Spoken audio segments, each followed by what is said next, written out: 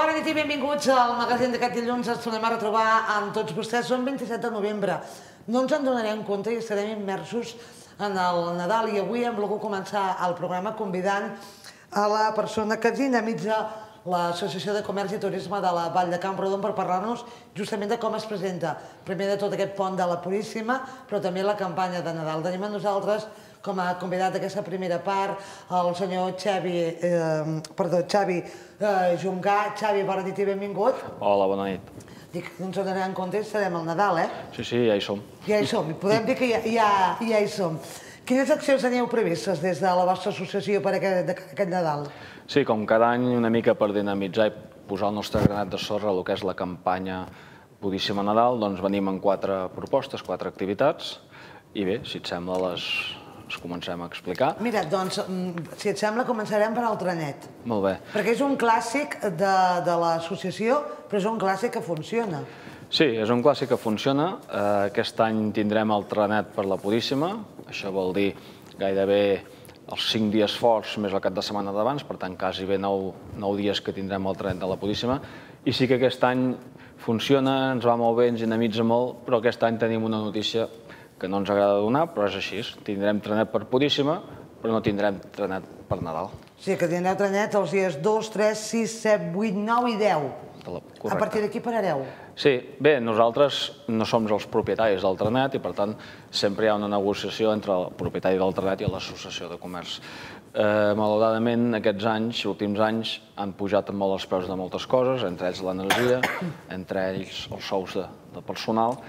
Ja més o menys se'ns va pujant uns tant per cents, 5, 10, 15, 20%, que aquests els podem assumir, però aquesta vegada per la campanya Nadal l'increment no estava amb aquests barems, estava amb uns barems molt superiors, realment molt llunyans del que nosaltres podem assumir i malauradament no hem pogut eh, assumir el que se'ns demanava i per tant aquest any no tindrem trenet de Nadal. Eh, estem sempre intentant negociar, de mirar de tenir uns preus més raonables que nosaltres hi puguem arribar. Aquest any ha estat impossible i a partir d'aquí, un cop s'arriben aquests preus, doncs ens ajuda algú més del territori o de moment aquest any no podrem tenir trenet per Nadal. Aquí també hem de pensar que bueno, el trenet turístic en el seu moment potser no hi havia tants llocs o tants pobles o tants municipis interessats, ara potser n'hi ha més, i a vegades, és clar, el propietari del trenet també te diu jo sí que em donen 3, però en altres tu em donen 6, doncs què faig? El vaig a posar on em donin 6. I aquí estem. Però vosaltres heu triat uns dies que és l'entrada, per dir-ho d'alguna manera, de la, de, de la campanya de Nadal, que són els forts per la vostra associació. Sí, com a mínim hem pogut salvar un dels dos pics grossos que té aquesta campanya de Pudíssima Nadal. Per nosaltres la campanya Pudíssima Nadal hi ha dos pics molt grans, un és el pont, que és molt important, i l'altre és una mica el cap d'any, d'acord? Perquè el que són els, els dies entre, entre cap d'any i Pudíssima, per tant Nadal i els cap de setmanes previs, costa molt eh, de, de tenir ambient, perquè la gent encara es queda més a casa, prepara les compres, costa més. Eh, per tant, com a mínim hem salvat el tema del trenet per al pont de la Pudíssima. que no deixa de dinamitzar el comerç, el turisme, eh, però també el, els municipis. Sí, bé, un, un apunt. Eh? Per Nadal, o per aquesta època, el trenet fa només la ruta de Camprodon. La ruta de dintre La Camprodon. ruta de l'Esvall només la fem a l'estiu perquè ara se'ns complica molt per la meteorologia i, evidentment, no hi sap si nevarà o no nevarà, però, a més a més, si hi hagi un any que faci. que nevi o que faci fred, no només per la neu, sinó per llocs que queden glaçats, la carretera en mal estat, i també una mica per preservar la seguretat i perquè no es pateixi tant de fred, no fem les rutes per la vall. Però, de totes maneres, haver-hi una atracció com el trenet aquests dies importants, no deixa de dinamitzar tota la vall de Camprodon. Sí, sí, està clar, és evident que quan eh, ve gent a la vall i estan allotjats a set cases o, o a Molló, doncs... Eh, O a Llanars. El propi poble, exacte, el propi poble pot oferir un atractiu del propi poble, però pot dir, escolta'm, aquí al voltant també tens això, tens allò. Efecte similar fa amb la pista de gel de Llanars, d'acord? Que està a Llanars ubicada, però està clar que qualsevol persona que està a la vall se li pot oferir que pot anar a la pista de gel de Llanars o inclús a la comarca. Al final comencem a, a treballar de forma eh, comunitària, podríem dir, no?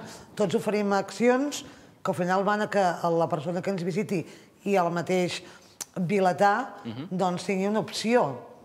Correcte, jo crec que el vilatà, el que ens visita a la segona residència, ell ha de poder mirar en una agenda, ha de poder mirar en un lloc i dir, mira, què m'ofereix el territori, això, això, això.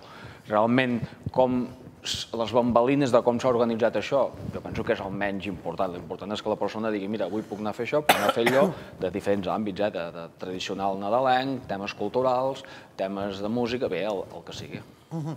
Clar, eh, tot això s'hi marca moltes tradicions, perquè és veritat que l'Associació de Comerç i Turisme de la Vall de Camprodon tenen tradicions, com per exemple la del Tió, que ja forma part de la vostra idiosincràsia, eh? Sí, eh, el caçations, que en diem nosaltres, que és això, no? que en els boscos de la Vall de Camprodon s'amaguen tions i després es fa una reserva i es pot venir a buscar un tió a la, a la Vall de Camprodon. Eh, aquest tió està allà amagat i quan es troba ve amb una dedicatòria pel nen en qüestió, per tant hi ha un treball important de mm, individualitzar aquell tió o fer el sentit propi del nen que el troba, i a més a més hi afegim aquest component de que com que es troba el tió i està de nedit i, i té gana, doncs se li pot donar el primer aliment a galetes birba, que amb el mateix encàrrec del tió donem eh, l'opció d'un obsequi de galetes birba perquè coneixi les galetes, coneixi la Vall de Campron, donguin aliment al tió i per tant quedi tot una mica lligat. Aquestes galetes les poden recollir a l'oficina de turisme de la Vall de Campron i que per tant el fet d'anar a l'oficina de turisme ja ho posem a, a, a disposició perquè els propis tècnics de turisme puguin informar d'altres opcions a fer a la Vall de Camprodon. I una cosa que ens ha agradat i que sé, no sé si fruit de la casualitat o no, però eh, fa pocs dies ha sortit el nou anunci de, de Birba, i també tornen a fer èmfasi en aquest concepte del tió, eh, que parla del tarannà, però el concepte del tió també surt i, per tant, va, tot una mica encaixa i és una cosa que ens funciona bastant bé o prou bé i cada any ens agrada repetir-ho. Clar, per anar a caçar aquests tions s'ha de fer reserva, eh? Sí. Sí, sí. Per WhatsApp o... Sí, hi ha una web, sí, sí, correcte, hi ha una web, caçations.cat, entres allà, tries el dia, el lloc, i a nivell de província, comarques gironines, perquè és un atractiu que es fa tot Catalunya, a nivell de comarca gironina, eh, em sembla només hi ha dos pobles, Camprodon i em sembla que és Riu de Llots, i eh, bé, la idea és que estem amb aquest projecte de tot Catalunya, però esclar, el fet d'oferir anar a buscar un tió a la vall de Camprodon, bueno, pensem que té el seu, el seu atractiu. Evidentment, si ho volen fer i són de la zona metropolitana i no volen perdre tot un dia, potser no ho faran, però l'idea és que com a mínim passin un dia, estiguin a la muntanya i coneixen la vall. Clar, i al final, si venen a passar el dia, doncs acabaran anant a un restaurant o, o s'acabaran quedant en un hotel a dormir o aniran de compres en una botiga. És allò que la roda va rodant, no? És, és així. Per això, a part de, a part de el tio anar a buscar al bosc, l'efecte de les galetes, que ens serveix per lo que he explicat abans, com que la galeta és un obsequi, la capsa de galetes, i l'han d'anar a buscar a l'oficina de turisme, han d'entrar en el poble. I això és molt important, perquè entrar en el poble ja vol dir que passen per davant de restaurants, botigues i tot això. Si no tinguéssim lligat així, hi hauria el risc, tampoc estaria malament, però que hi havia el risc que anessin al bosc, trobessin el tió i marxessin. D'aquesta manera... Que podria passar. També podria passar, però d'aquesta manera eh, el 90% dels tions venen a buscar la capsa de galetes i per tant ens assegurem que entren al poble, van a l'oficina de turisme i a partir d'aquí ja s'obre un ventall de, de possibilitats. Un poble que hi haurà una banda sonora de Nadal, podríem dir, no? Sí, Xavi? Sí, Sí, sí. Tindrem el, el poble tot el centre comercial amb música? Sí, sí, sí. Com cada any, bé, no ha canviat això. Tenim diferents mic... Bueno, altaveus. Altaveus. Sí, és una cosa que no fem nosaltres, lògicament la infraestructura és de l'Ajuntament, però sempre, sempre que acompanya aquests dies amb, amb, amb agafonia nadalenca. Uh -huh. I si parlaven de tions, que és una tradició ben nostra, no hi ha dubte que hi ha una tradició que també ens ha entrat, que és el del Pare Noel. Sí. Tindrem sí, sí. Pare Noel visitant als carrers de, de Camprodon? Sí, sí, és l'altre no sé si és una tradició, no és tan nostra, potser però ja, més de ja fora. Però ja ha entrat a dintre, és com bé, el Black penso, Friday i tot això, però eh? Però bé, penso que, i sobretot, el Pare Noel en àmbit comercial es, es troba molt, eh? i per tant, com cada any doncs, el Pare Noel hi ha uns dies concrets que passeja per la zona comercial, eh, saludant els nens, escoltant les seves demandes, bé, una mica també el que dèiem, fer Nadal, fer comerç, tot uh -huh. això. Clar, eh, parlem de comerç, però és que a Camprodon no fan la botiga al carrer quan, quan hi rebaixa, sinó que la fan el 9 de desembre. Sí, aquesta botiga al carrer, i això m'agradaria explicar-ho, li hem posat el nom de botiga al carrer, però ja hem volgut donar-li aquest component de, de preparar-se per Nadal i que la gent pensi que s'han de fer les compres de Nadal. I per tant, no és una botiga al carrer clàssica d'anem a treure estocs, perquè no és l'època, sinó és una botiga al carrer per dinamitzar el Nadal, perquè la gent pugui oferir els seus millors productes en aquesta època i, a més a més, per complementar l'oferta de Nadal que tenim, com és el mercat de Nadal que s'organitza aquests dies. I, per tant, és una botiga al carrer, però té aquest component eh, no tant de treure estocs, sinó d'exposar els millors estocs òptims per ser venuts ara abans de les, dels dies forts de Nadal. I és un atractiu de que trobes la botiga al carrer i al final acabes entrant a la botiga, no? Si, si necessites, si veus alguna cosa que t'interessa, dius, a dintre en tinc més. Correcte. No? I al final l'acabem dinamitzant. Tot això amb una associació de comerç i turisme de la Vall de Camprodon, que fa un, ja un anyet així es van presentar una marca, que és la marca de territori que teniu vosaltres, que és Vall de Camprodon. Com està funcionant?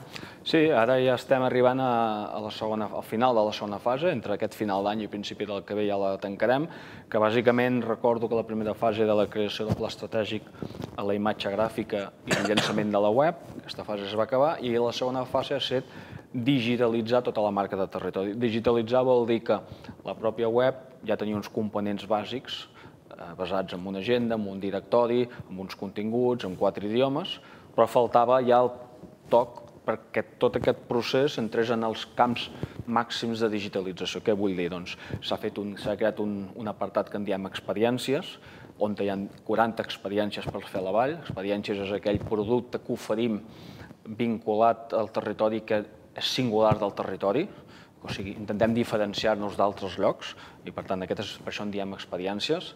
Després hem fet el salt a xarxes, sobretot Insta i Facebook. Després hem creat una newsletter, per tant una persona que a la web envia el seu mail, a partir d'aquell moment rebrà un newsletter de forma setmanal mensual on hi ha què? actualitat de la vall, perquè coneixi fons la vall. Eh, què més? Treurem una app que això serà final d'aquest any, principis del que ve. I finalment hem creat un, un apartat en la web, que són uns favorits, en el sentit que una persona quan va navegant per la web li agrada un restaurant, li agrada una activitat, li agrada una xerrada, li agrada una sessió de cinema, doncs ho va marcant i al final la web li fa com un, com us diria jo, com un vestit a mida, com un programa que ell s'ha fet a mida a través d'anar navegant. Quan té tot allò, li surt resumit i allò s'ho pot eh, imprimir, no seria el cas més adequat de digitalitzar, però s'ho pot enviar al seu mail, s'ho pot enviar per WhatsApp, eh, s'ho pot passar al seu telèfon i a partir d'aquí ja pot anar als llocs que... O sigui que estem a dintre del, dels terminis que ens varen marcar, eh? Correcte. Mm. Uh, podem dir que hem tingut una bona temporada fins ara, Xavi? Aquest any, a nivell turístic, jo crec que comencem, ja portem un parell d'anys, crec que ja fa un temps que diferents actors de la vall, nosaltres en la nostra funció, l'àmbit públic, els ajuntaments, la mancomunitat, establiments privats, de cada vegada intentar treballar el turisme en dos vertents, en dos vessants. Eh? Un turisme sostenible, que creiem que hi hem d'anar. Quan diem un turisme sostenible parlem d'un turisme respectiu amb el medi ambient, si pot ser que no sigui tan, eh, com es diu, mm, amb, amb acumulacions en certs moments de l'any, sinó més allargat, el famós tema de la desestacionalització.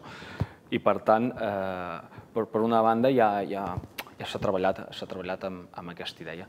I per l'altra, bé, eh, un cop això ho anem treballant, aquest turisme sostenible, doncs trobar un turisme això, no? més, més, més desestacionalitzat, més allargat en el temps, i bé, i aconseguir que la gent doncs, ens vagi venint els caps de setmana i després dels caps de setmana potser entre setmana i ara ja tenim exemples mm, de diverses bandes, eh? tenim exemples de, de, de, de restaurants o d'hotels que entre setmana van treballant i alguns gràcies a una excel·lent aposta d'una política de recursos humans obren cada dia, per tant, és important. Evidentment, són menys que no pas més, però ja n'hi ha. Però ja es comença a Correcte. notar. De l'àmbit eh, de l'associació mateix, el tema del Tranet, que ens trobem en aquesta situació, però el Tranet ja fa dos o tres anys que parlem del Tranet tot l'any, en unes èpoques d'una manera i unes altres èpoques d'una altra, però intentar donar tot l'any. Tenim exemples de fides i d'activitats que es fan fora de temporada, eh, com és un exemple claríssim la Fira de la Galeta, eh, que és una fira que per la potència que ha anat agafant i com s'organitza doncs, la podem posar en un cap de setmana que és abans d'un pont i tenim el cap de setmana amb gent i el pont. Per tant, anem amb aquesta idea. Eh, el projecte últim que està treballant Vallter 2000 se'n diu 365 dies, va en aquest sentit. Per tant, bé, eh, és aquesta les dues línies que estem, que estem treballant i bé, és feina de formigueta, mica en mica, però bé, aquí estem al final, quan arriba la temporada d'hivern, tothom pensa i mira cap al cel a veure si cau neu. Però al final hem de treballar hi hagi neu o no hi hagi neu, no? I això és el que esteu aconseguint.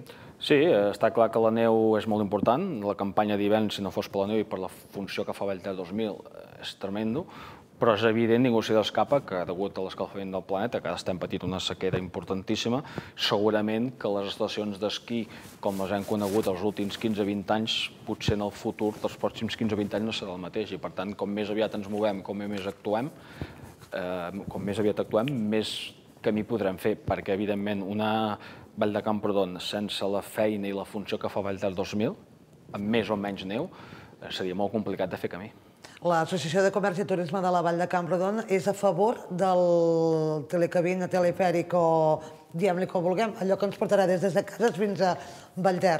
Sí, sí, totalment. Eh, nosaltres, amb els diferents eh, associats que hem parlat, el 95% està a favor, Evidentment hi ha dubtes, evidentment hem parlat amb ferrocarrils, hem, hem dit veniu a explicar el projecte al territori, veniu a resoldre els dubtes, veniu a escoltar la gent i potser hi haurà moments que potser s'haurà de fer, eh, de, de, de llimar algun, alguna cosa que ara no queda clara, no? el, el famós aparcament, quin impacte ambiental pot tenir, però també és cert, eh? i això també se'ns ha dit, o sigui, no es tracta de que el model del telecadí no tingui cap inconvenient, és clar que en tindrà algun, però és una balança. I hem de veure el model actual i, i el futur. I quan la balança decanta, eh, és el que hem d'apostar. Ara, pretendre que el projecte del telecabina decanti tant que no tinguin ni un inconvenient, no, sempre n'hi haurà alguns, però hem d'intentar que siguin mínims i que sobretot en conjunt sigui millor que la situació que tenim ara i per tant hi estem, hi estem molt a favor, tot i que evidentment s'ha de fer com s'ha de fer. Ara, evidentment, segurament hi ha hagut una frenada o un problema perquè la finançació que havia d'arribar d'Europa de moment ha sortit que no i bé, s'està treballant per buscar-la d'alguna altra banda. Xavi, podríem dir que eh, teniu una previsió d'una bona campanya de Nadal? Sí, jo crec que la Puríssima, els dies festius com estan posats, ens ajuda. Aquest treball que t'he comentat que es porta fent ja fa un any, fa dos anys, a tota la vall, també farà el seu fruit. Uh, jo crec que mm, no tenim, no tenim cap tema mm, grau, greu com hem tingut el famós Covid. Eh, ens falta tancar el cercle ja si tingués una mica més de neu i si no tenim tanta neu com voldríem, doncs amb una mica de neu que pugui fer la base de l'estació per dinamitzar amb les famílies i, i que la gent vingui a disfrutar una mica de la muntanya, jo penso que pot ser una, una, bona, una bona campanya. De totes maneres, clar, la, la campanya Pudíssima Nadal està al mig de lo que és la campanya d'hivern sencera. Correcte. D'acord? I per tant, una cosa és la Pudíssima Nadal i la cosa serà analitzar tota la campanya, campanya d'hivern. Nadal. Ai, tota la campanya d'hivern. Que aquest any de Setmana Santa, em sembla que cau finals de març o abril. Molt d'hora. Per tant, ve molt d'hora. Veurem llavors com se'n Palma i, i què passa amb tot això. Gràcies per acompanyar-nos. Enhorabona per tots els projectes que tenim aquesta policia, que són molts eh, organitzats per l'Associació de Comerç i Turisme de la Vall de Camprodon i ja saps que aquí és casa teva. Gràcies per acompanyar-nos en aquest dilluns. A vosaltres per deixar-nos venir. Xavi Juncà, dinamitzador de l'Associació de Comerç i Turisme de la Vall de Camprodon, que ens ha acompanyat a la primera part. Anem a la pausa, segona part és dilluns. Ja ho saben, llegim i ho fem amb la bona companyia de les biblioteques. Fins ara mateix.